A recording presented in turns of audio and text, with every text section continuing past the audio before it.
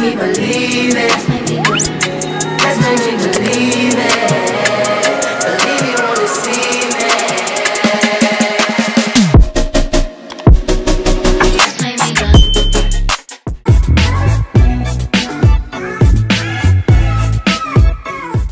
Guys, today I'm going to be filming a video for you guys titled How I Got into UWC, which is basically my dream boarding school and my dream school for the longest. Ever since my sister went, I was so interested in the school and I wanted to go for myself when I was younger. And ever since she shared her experiences and how I saw her grow as a person and evolve into this amazing woman. And literally I love everything that UWC stands for, all of them, all 18 of them. I recently just got admitted into UWC USA and I actually have some merch and fun fact, my sister, when she went to the finalist weekend in 2014, we actually bought this for her, so it's just crazy. Like, basically our family's a UWC family now. We're about to have two UWC alumni, alum, I don't know, in our family. If you guys like this video and if you guys find this video helpful, then make sure to give it a big thumbs up. Make sure to subscribe if you have not already. Welcome to my channel if you've never seen my face before. Make sure to follow me on all my social medias. Make sure you subscribe if you are interested in UWC videos because I will be doing a series. Other than that, let's get into the video. So I have a couple things to say before I get right into the video. So the first thing I wanted to say is that I'm not an expert in getting into UWC. I'm just going to share with you guys what has helped me get in and the videos that I've seen, I've kind of taken that and if I thought they were true and I thought they worked, then I will include that in my series. So yes, I'm just sharing with you guys what has worked for me and what I know to be true. Also, these will be a series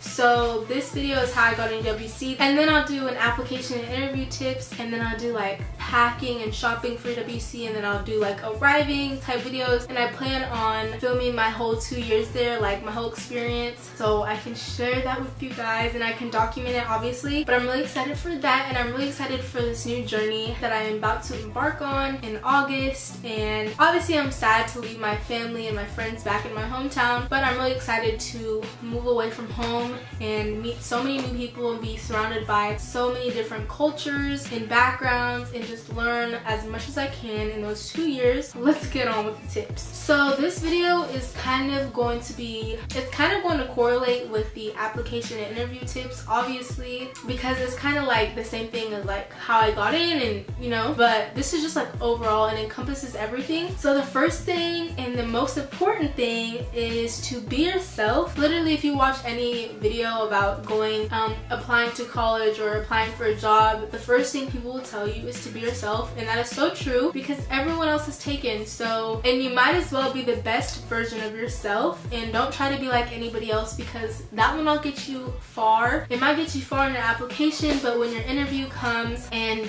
you were trying to be this person in your application and they ask you about it and you really don't know how to explain what you're talking about then it will show and just things like that and even if you're going to your finalist weekend and there are things you're talking about in your application and your interview and they just don't align with who you are, they will be able to see that. The selection committee members will be able to see that and it just shows even if you think it does not. So make sure to be yourself, be the amazing person that you are and they will love you. So the next thing I would say is when working on the application and when you are being interviewed, know and understand UWC's core values. That does not mean that you have to know every single core value by heart, but it just means that you are living those core values and especially in your application, you want to look at their core values, know and understand each one and what they mean. And then when you're writing your application, you want to incorporate that into your application so you can stand out as an applicant just because there's going to be hundreds of people applying and you know sometimes when people are reading applications they can sound so similar and some of them are very very vague and they're not specific so when you kind of encompass those UWC core values into what you're talking about and the things that you're passionate about, then you stand out more and I 100% believe this. And you can find their core values at their website. If you go to UWC core values, then you will be able to find them. You don't have to know them by heart. They're not going to ask you in your interview what are the core values and what do they mean. It'll even help you if you get admitted because you'll be able to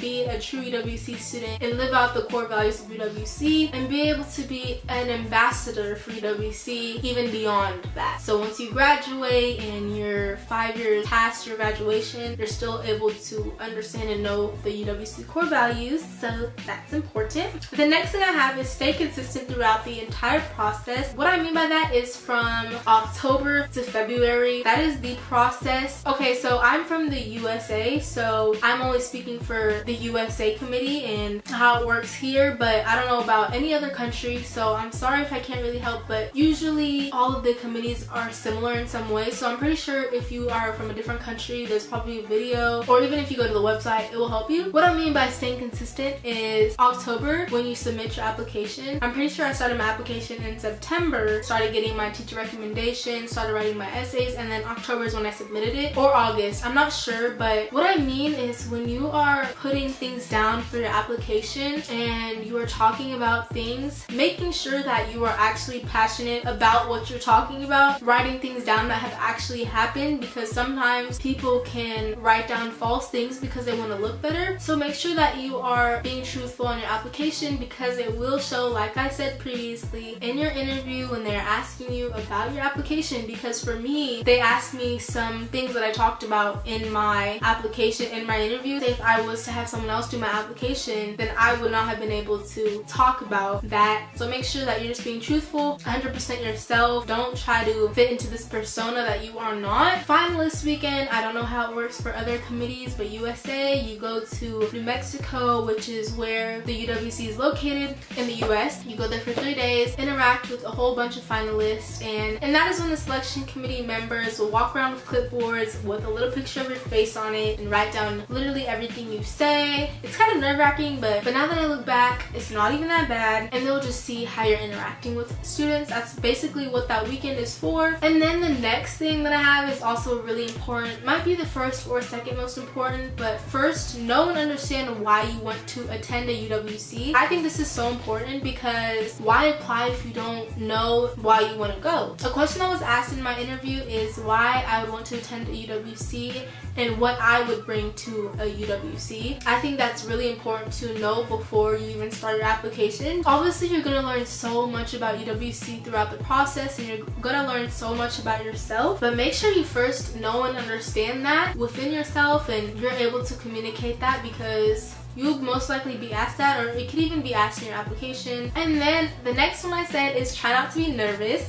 And I know it's really, really hard, but just think about it like everyone else that is applying, the hundreds of people that are applying with you are going to be feeling the same way that you're feeling. So don't feel nervous. Try not to feel nervous. For my interview, when um, I had two interviewees, I think that's what they're called. It was me and then my parents had to leave because your family's not supposed to be like in the house or like by you. So I had my dad leave and then my mom was somewhere else, I don't remember. And then they're asking me questions, but then as the interview went on, like past 15 minutes, it was not really nerve-wracking for me anymore. It was just more of a conversation and it was really genuine. Like we were literally just having a conversation. It does not feel like an interview really. They're really cool people. What I really like about UWC interviews is for me, and I know for a few other of my friends, for the first 10 to 15 minutes they have your parents be in the interview with you so they can ask questions so you can kind of get familiarized with the whole environment and so you're not as nervous which is very very very helpful. They probably don't know how much it helps but it really does help a lot. So I really appreciate that aspect of the interview. And then the last thing I said and most importantly stay positive. You want to stay positive throughout this whole entire process because it is a long vigorous process and you'll feel like it has been years since you've heard anything because like I said the process starts in August it ends in February. It's seven months of trying to get into a prestigious school and I'm just very very humbled and excited to start this new journey. I know I'm very blessed to be in this position because there are a lot of people who want to go to UWC because it's such an amazing program. So I have told myself I have like pages and pages. Like my personal goals and you know everything that I want to take out of my two-year experience because time does go by fast and my sister went to UWC Maastricht. I'm just very very excited and I'm very excited to move out of my house but my parents are very happy and they're very supportive of this whole process and have been there every step of the way. Also, I forgot to talk about the most important thing. Everyone's process of getting into UWC is totally different. I applied a year ago. I didn't get in. I didn't even get to the interview stage. And this year I applied. I got to the interview stage. I went to finalist weekend and then I got a rejection letter in February and then I was put on the wait list in February. And literally like four days ago, June 25th, I remember I got an email that I was admitted